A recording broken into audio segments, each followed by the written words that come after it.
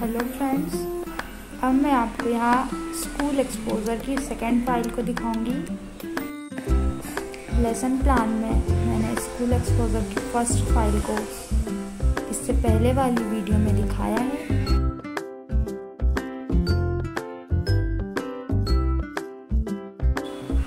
आपको इस फ़ाइल से अपना लेसन प्लान तैयार करने में काफ़ी सहायता मिलेगी।